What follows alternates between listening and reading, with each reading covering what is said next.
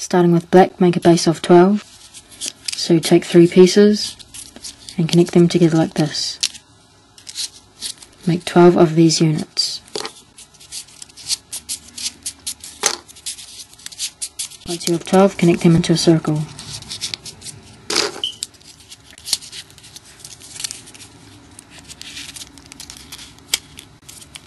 Now make two more rows.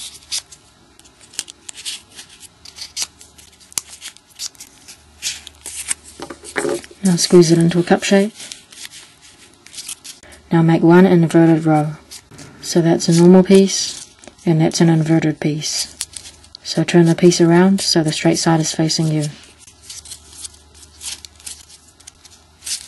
Now make two more rows.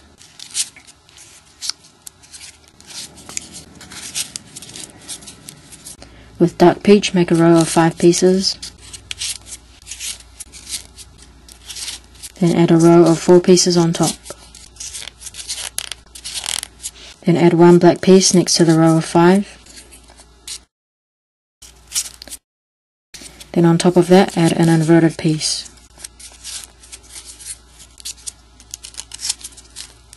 Now add a row of five peach pieces.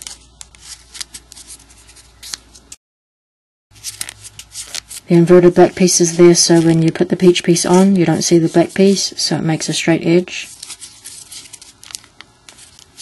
Then you add a row of four peach pieces on top. Now fill in the rest of the head with black. Now add two more black rows.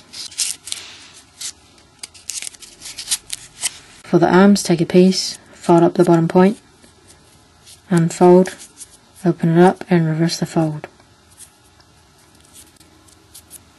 For the legs, take a piece, put it around your finger, open the pockets and flatten the inside.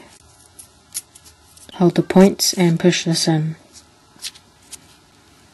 Now find the middle of the face, so there's five peach pieces. Go to the third one, that's the middle, then go down to the body. Then you have three whole pieces, and next to that, put the arms in.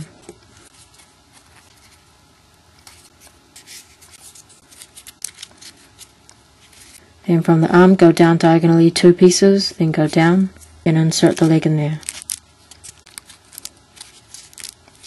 Then for the ninja star I'll have a link to the tutorial below the video. So if you already know how to make a ninja star, make it with a 4 centimeter square. So I wouldn't use one this big, so I would have the 4 centimeter squared one and then just insert it in the arm like this. And then just glue it to secure it. And for the eyes just glue on some black beads. So go to the side pieces on the bottom row, go up diagonally and glue the eyes in there.